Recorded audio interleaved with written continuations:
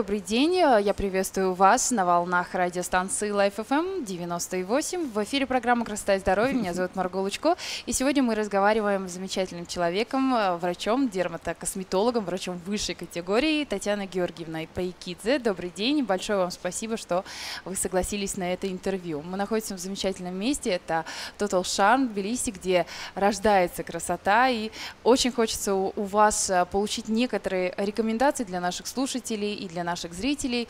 А, в это холодное зимнее время наша кожа постоянно страдает, у кого-то сухость, у кого-то наоборот, а, избыток жирности. Какие вы можете дать рекомендации по уходу за кожей в зимнее время? А мне надо поздороваться. Да, да, конечно. Добрый день.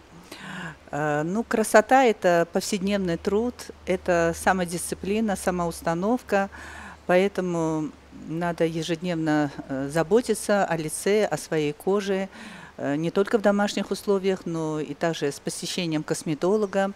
Э, сейчас время, когда наступает осень, когда гидрорезерв кожи снижается, и помимо кремов и домашнего ухода нужно делать также и косметологические процедуры, такие как мезотерапия, биоревитализация, пилинги, самый сезон осенью – это сезон пилингов, э, пилинги на основе фруктовых кислот, Э, можно делать такие пилинги, когда женщина не выбывает из социальной жизни, не посещает работу и э, щадящий, щадящий да, это поверхностные пилинги называется, э, когда женщина ходит к косметологу раз в неделю и она видит улучшение качества кожи, тонуса, тургора, кожа сияет, она довольна этим посещением и она продолжает ходить и делать несколько процедур.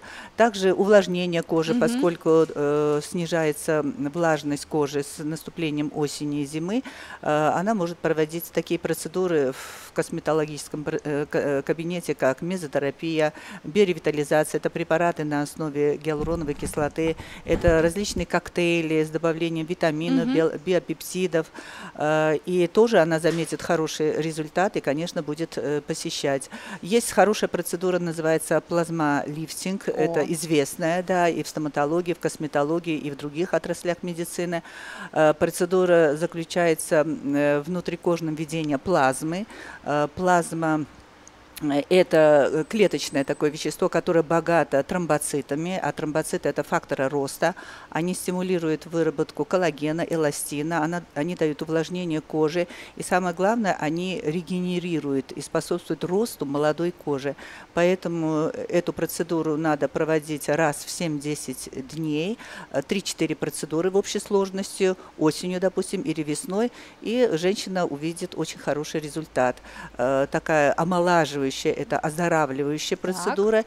и э, в то же время, э, значит, э, э, такие проблемы, если есть на коже, как пигментация, как дряблость, мелкие морщины, возрастные угу. изменения, э, то есть женщина заметит, э, эстетически заметит сразу результат, и она с удовольствием будет посещать косметолога.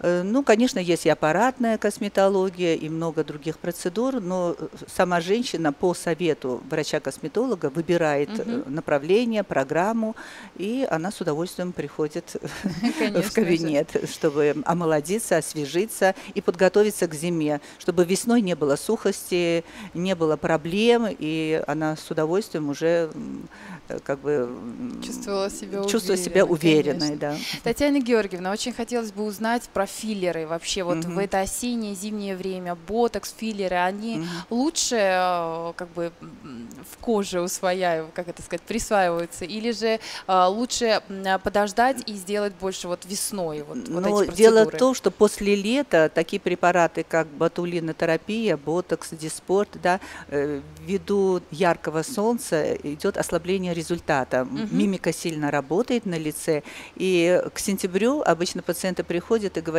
а у меня уже появились морщины из-за яркого солнца, допустим, они были в жарких странах, отдыхали. Да. Вот, и в сентябре приходится добавлять, несмотря на то, что весной они сделали эту процедуру, в сентябре приходится добавлять, чтобы эффект усилить, так как ослабляется после Так. яркого солнца. Что касается филлеров, филлеры это препараты на основе гиалуроновой кислоты, они различной плотности, разных компаний, разных стран.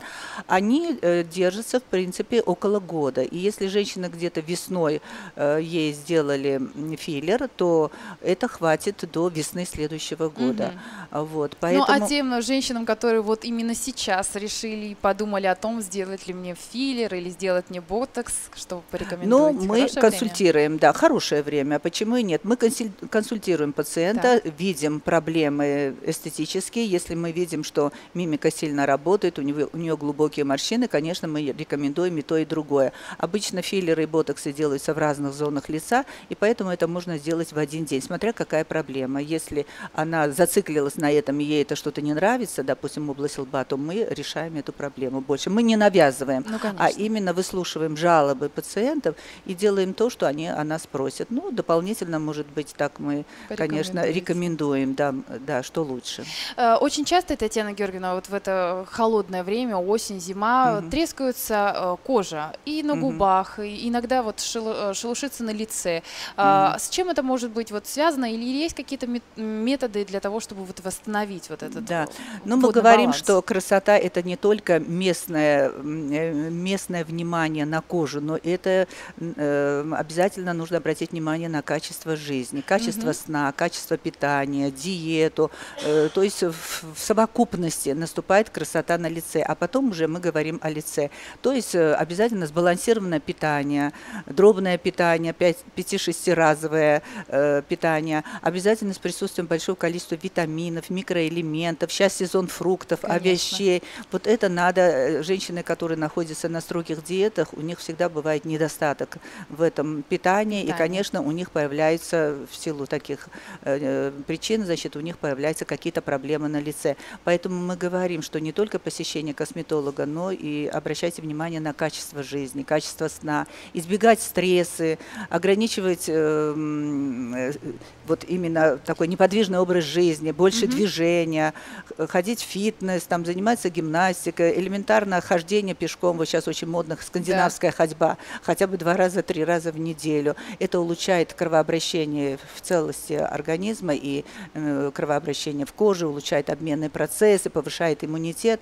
Вот только в совокупности наступает красота, а не только заняться лицом и посещать косметолога. Я считаю так. да. Большое вам спасибо Пожалуйста. э, за это замечательное интервью, за ваши Мгм. рекомендации. Я думаю, что нашим а, слушателям и зрителям было очень интересно, и они обязательно а, услышат ваши рекомендации. Наше интервью, к сожалению, подошло к концу. Большое спасибо, что пришли к нам в гости. Спасибо вам. Зален Диди Мадлуба, Нахвамдис.